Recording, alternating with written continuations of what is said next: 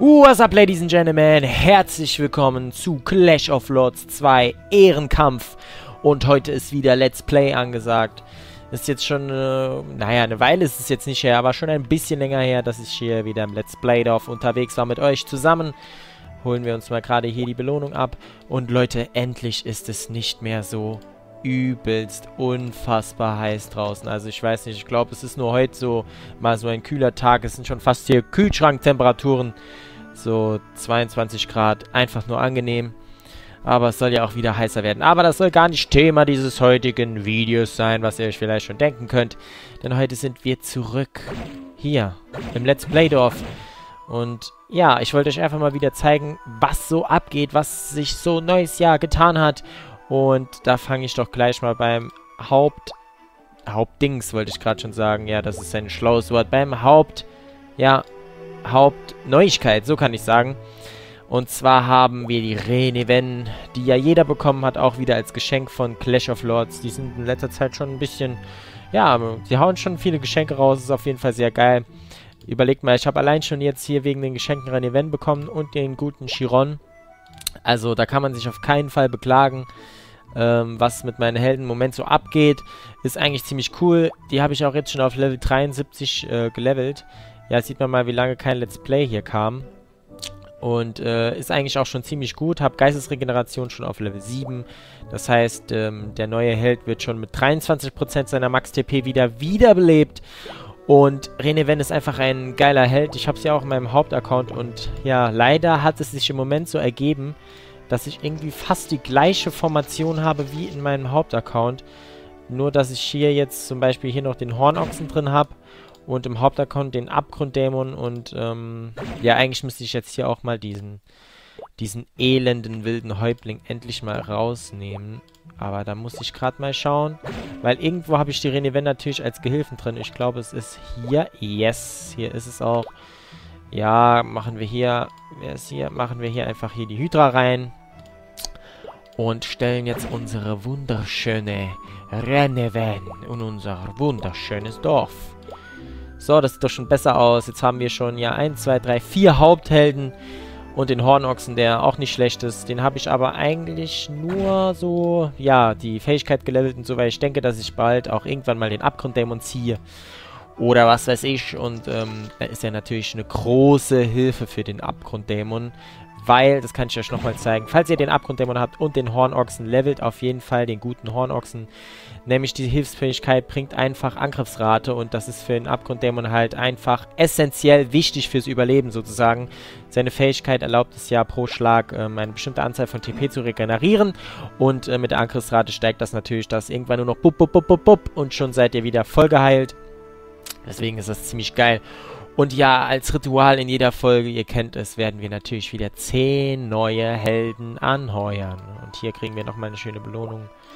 500 Seelen auf den freien Mann. Also 10 Helden werden wir heute wieder anheuern. Wir haben wieder genug Platz. Jetzt machen wir erst noch diese zwei blauen Eier hier weg. Wo schmeißen wir es rein? Genau, im Moment schmeiße ich natürlich alles in Reneven. Weil die muss natürlich noch so ein bisschen angepasst werden. Meine anderen Helden sind ja 83, 84 oder ja 86 sogar schon. Und da muss ich jetzt natürlich noch ein bisschen aufschließen. Aber viel Gelaber, nix dahinter. Einfach mal hier zehnmal anhören. Drückt wieder die Daumen. Das Ritual. Und diesmal bekommen wir. Tak, tak, tak, tak, tak. Eine Ruhmespriesterin. Ja, und es entschuldigt mich, dass hier schon wieder diese Werbung reinkommt von diesen Spielen, aber irgendwie ist es in letzter Zeit bei BlueStacks so, dass hier immer wieder Werbung reingeflattert kommt. Wir haben die Ruhmespriesterin bekommen, drehen nochmal hier am süßen Rad, aber wir werden hier keine Juwelen reinballern, weil es ja, ja, ich will ja jede Folge sozusagen, will ich ja anheuern, zehnmal mit euch. Weil das ist ja eigentlich so die größte Veränderung immer. Die Helden, die neuen Helden sind ja eigentlich immer so die größte Veränderung. Ist das erstmal eine erste Ruhmespriesterin? Ich dachte, ich hätte schon mal eine gezogen. Ja, was, was soll ich mit der nur tun? Also, ja, Hilfsfähigkeit ist nicht schlecht. TP der Söldner 2%, aber ist auch nicht das Wahre. Und für sie jetzt direkt schon aufzuleveln, ist es mir ehrlich gesagt viel, viel, viel zu schade. Aber wir können noch mal ein paar Mal würfeln. Das können wir auch immer wieder.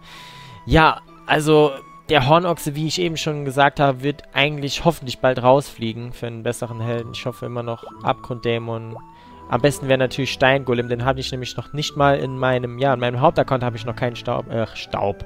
Steingolem natürlich. Und da wäre es schon ziemlich geil, wenn ich ihn hier bekommen würde. Bekommen wir hier noch ein paar Ringchen. Ihr seht, ich habe noch drei Sachen zum Bauen frei. Beim Bauen hat sich eigentlich, ja, hat sich was verändert. Ich habe die Mauern jetzt versucht mal auf jeden Fall so anzupassen. Tut das auf jeden Fall. Legt Wert auf eure Mauern. Ihr, ihr kennt doch, natürlich kennt ihr alle den guten Panda. Habt ihr jetzt seine Mauern gesehen? Wenn ihr mal solche Mauern haben wollt, dann müsst ihr auf jeden Fall früh anfangen, hier die Mauern zu verbessern. Die sind jetzt schon alle Level 6. Ähm, ich mache das immer so nebenbei, wenn ich jetzt zum Beispiel hier oben was verbessern wir denn? Ich bin eigentlich im Moment auch wieder zugunsten der Siegesstatue hier unterwegs, weil die auch, ja, habe ich auch schon erwähnt, ziemlich extrem wichtig sogar ist. Aber was holen wir hier denn noch? Mit der Nahwache ist, ja, ist am Anfang noch nicht so wichtig und kostet auch übelst viel. Was habe ich denn? Ich würde sagen, wir machen die Schützentürme jetzt alle mal auf Level 10.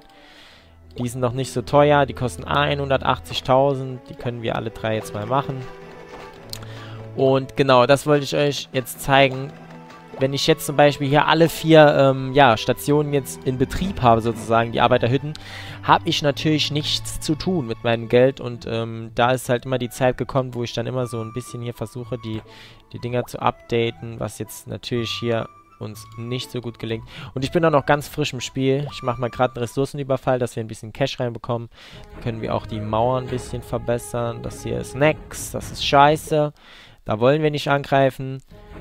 Ja, wollen wir auch nicht angreifen, auch wenn es wieder mal lustig aussieht.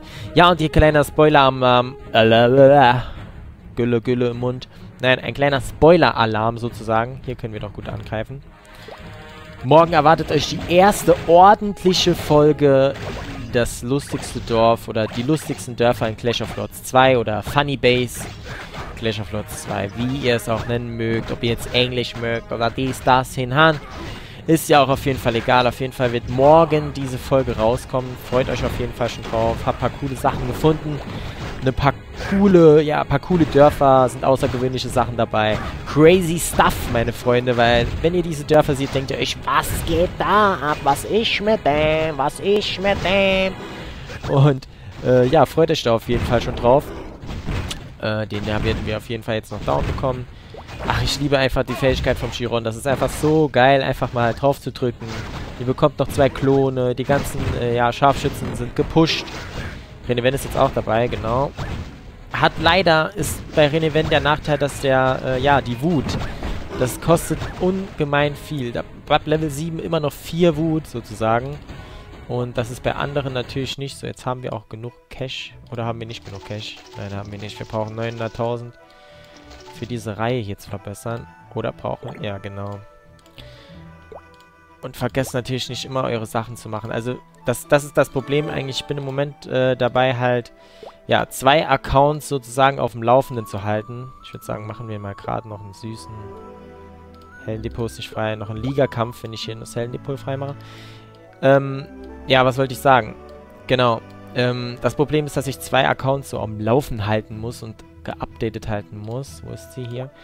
Und ähm, da ist halt das Problem, weil wenn man wirklich alles rausholen will aus dem Spiel, dann äh, kostet das schon ziemlich viel Zeit, weil ihr müsst wirklich, wenn ihr dranbleiben wollt am Ball, müsst ihr jeden Tag Arena komplett machen. Ihr müsst jeden Tag hier königliche Schlacht, dann müsst ihr die, ja, die Ruine durchmachen, dann müsst ihr die Ressourcen durchmachen. Also mindestens die Ressourcen fünfmal, weil dann bekommt ihr natürlich die Boni.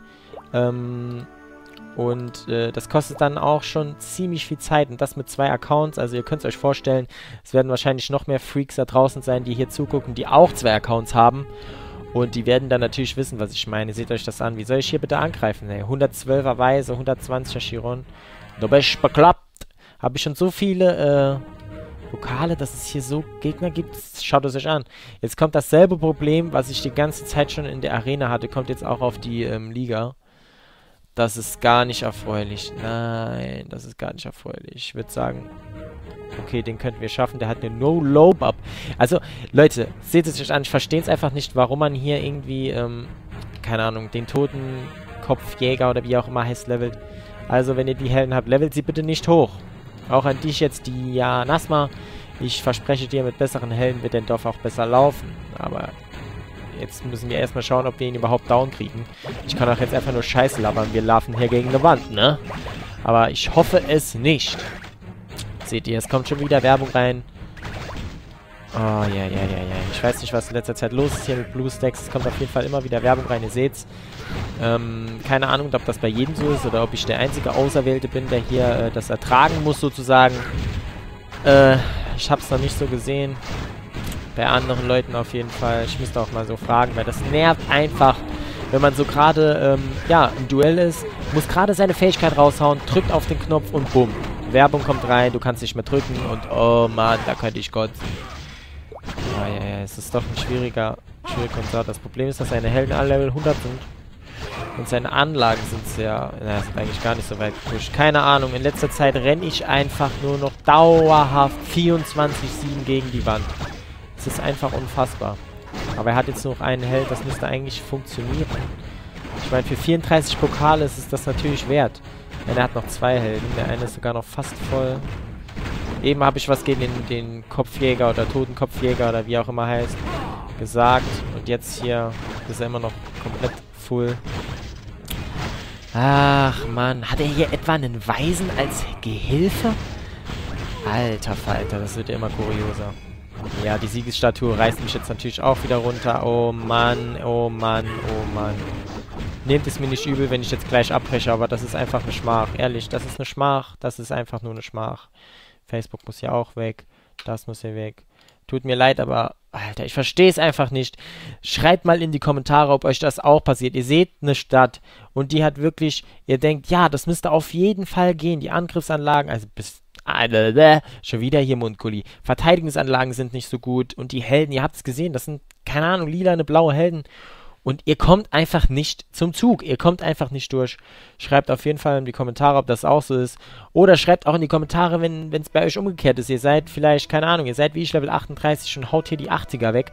Das hat das letzte Mal ein Abonnent unter das Video geschrieben. Also Chapeau an dich jetzt an dieser Stelle, dass du das schaffst. Wenn es natürlich wahr ist. Ich werde dir jetzt natürlich mal glauben.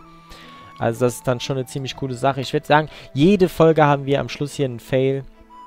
Was eigentlich schon ziemlich schade ist. Aber ich will die Let's Play ja, die Let's Play-Parts ähm, hier noch nie, nie so lang halten, weil ich euch hier auch nur so kurz und knapp mal schnell erzählen und zeigen will, was so Neues passiert ist. Oh Mann, und jede Folge verliere ich einen Ligakampf. Aber was soll's, das soll's auch jetzt für heute wieder gewesen sein.